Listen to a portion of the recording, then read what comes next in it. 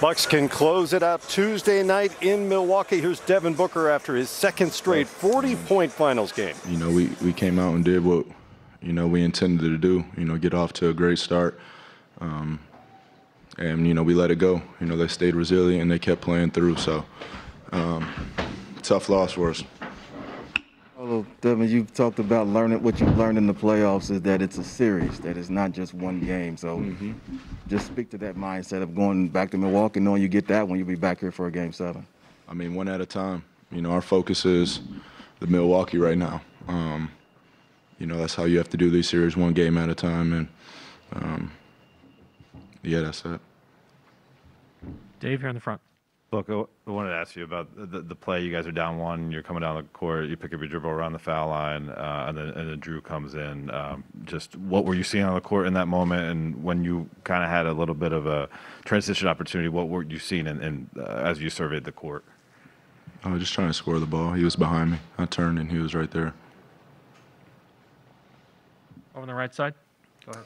Hey, Devin. Um, you know, obviously you had a great night, but it, it, it, seemed like a lot of times that there was a lot of isolation. There wasn't a ton of ball movement. I know you talk about 0.5, and it, there weren't many of those possessions. Did you think things got, and maybe this for Chris too, that things were just too isolated and stagnant on offense for too long during the night?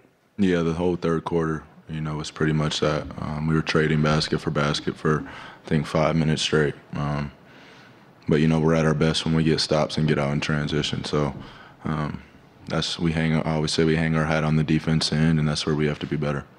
And Chris, what did you think about just kind of the ball movement? And did you feel it got a little stagnant at times? uh, yeah, it, it, definitely did, especially in that second quarter when I was out there.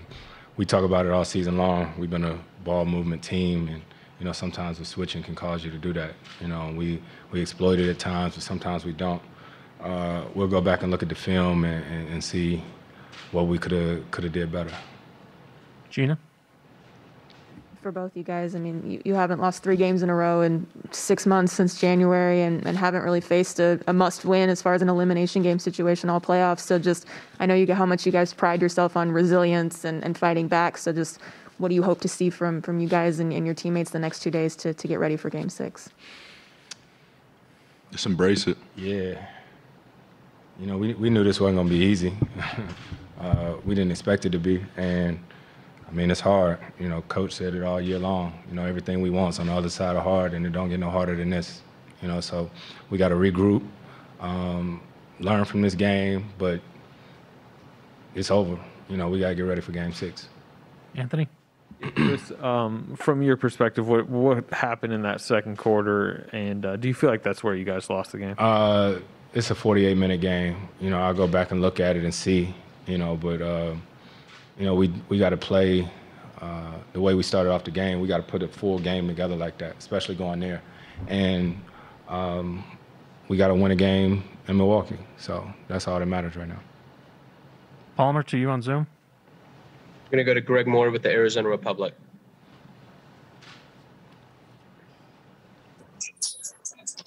Thanks, fellas. Uh, this obviously a really tough loss. Devin, how frustrated are you uh, for Chris right now? Next, next question, please. Dwayne, over on the right side. They obviously shot the ball from three well. Was that just a matter of them making shots, or would you feel like the defense was it more of them, or was it more of you how you guys were defending the three tonight? I think we gotta, you know, impose our will.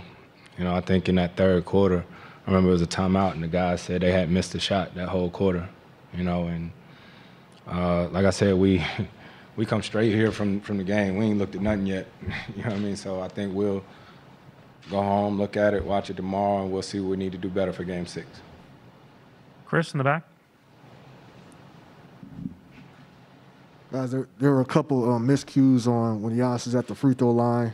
Um, they got the offense rebound a couple times. Is that a matter of just the ball bouncing a certain way, or, or you think you guys could do something differently on those situations? I'd have to go relook at it, but you know he is a, you know he's a freak of nature. He's a different size dude. So even if he's boxing out, getting a hand on it, you know it's tough. So, you know you just have to put a, put a body on him. Every everybody's out there anticipating to miss. You know, hell, even he is. you know what I mean? So, um, you know, we got to keep trying to box out. And then if his his length, you know, he tipped the ball up in the air, ain't ain't too much you can do. All right, thanks, guys. Well, it's true. Giannis